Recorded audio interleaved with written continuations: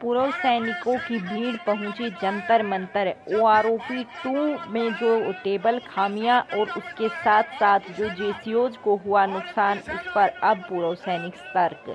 नमस्कार दोस्तों, आप सभी का मैं एक बार फिर से हार्दिक स्वागत करती हूँ। दोस्तों, आप देख पा रहे हैं किस प्रकार से कितना बड़ा जन सैलाब उमड़ा है जंतर मंतर पर। सभी पूर्व सैनिक अपने हक की मांग के लिए यहाँ पहुँचे हैं।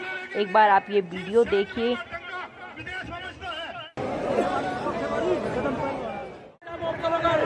टेस्ट पास हुआ है दो सौ सत्तर का जो देहरादून का पास किया था उसने का कैंसिल कर दिया बच्चों ने सुसाइड किया और क्या किया मोदी झूठे आश्वासन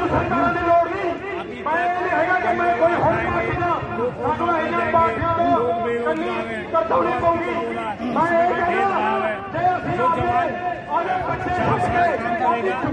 चार साल काम करेगा वो कैसे लेंगे बिना सरकार बिना उसके पैसे के लिए जाएँगे पिछहत्तर परसेंट आप क्या करेंगे यहाँ आकर एक सर्विस के बराबर अभी तो एक सर्विस में इनको नहीं मिल रही है एक सर्विस में भी मिल रही है वो की नौकरी करेंगे हम देखिए बकवास करेंगे झूठ है सेटलमेंट समाप्त कर दिया आज की है। पहले उनको कानून को कैसे काट लो मिल थी आज वो काट लो पहले कर ले पहले कर ले के बाद देख लो जितने भी नेशनल लाइन पे जब पहले तो वे मर्ज कर दिए थे और आज उनमें जो एक्शन मैंने ऐसे कांड रिवर्स हो जाता था वो भी समाप्त कर दिया सरकार ने। प्राइवेट कंपनी के वो वो एक टीम पे झाड़ू मार रहा है।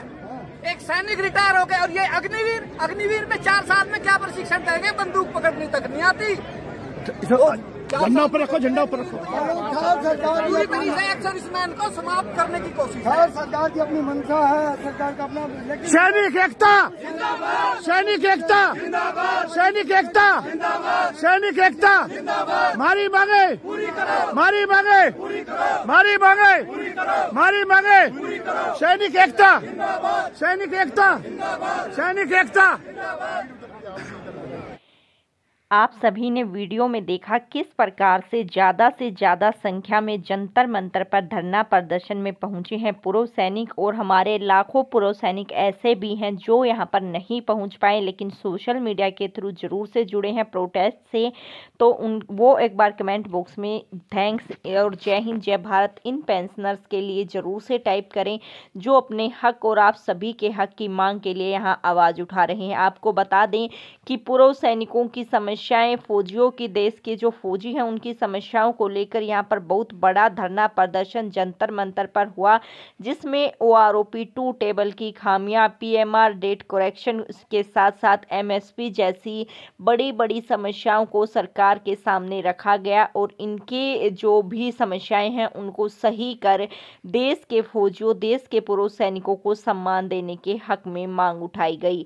आपको बता दें कि न केवल पुरुष सैनिक बल्कि वीरों की जो नारियाँ हैं, वो भी। यहाँ पर महिलाएँ भी ज़्यादा से ज़्यादा संख्या में पहुँची, जिससे कि एकता दिखाई दी और एकता के बलबूते पर ही यहाँ पर जीत हासिल हो सकती है। दोस्तों, आपको बता दें कि जो धरना प्रदर्शन रखा गया था, उसमें सभी पूर्व सैनिकों ने अपनी जो सभी मांगे हैं, एक साथ सरकार के सामने रखी हैं, जिसमें आपकी MSP, OROP two, revision, correction क्योंकि आप सभी जानते हैं कुछ एक पेंशनर्स तो ऐसे हैं जिन्हें O R O P two revision में कोई भी फ़ायदा नहीं मिला। तो उसके साथ साथ आपकी एम एस पी जैसी बड़ी बड़ी समस्याओं को यहाँ रखा गया है और सरकार से मांग की गई है कि इनकी पूर्ति करे सरकार। अगर ऐसा नहीं होता है तो 2024 के इलेक्शन में पूर्व सैनिकों देश के फौजियों के जो इन्होंने ऐसा रुख किया है, उसके हिसाब से मोदी सरकार को नीचे देखना पड़ सकता है। इलेक्शंस में इसका वार ज़रूर से होगा। दोस्तों, जो भी आपकी राय हो, कमेंट बॉक्स में ज़रूर से बताएँ। फिर मिलते हैं एक नई और ताज़ा अपडेट के साथ। तब तक के लिए सभी पेंशनर्स और फैमिली पेंशनर्स को जय हिंद, जय भारत।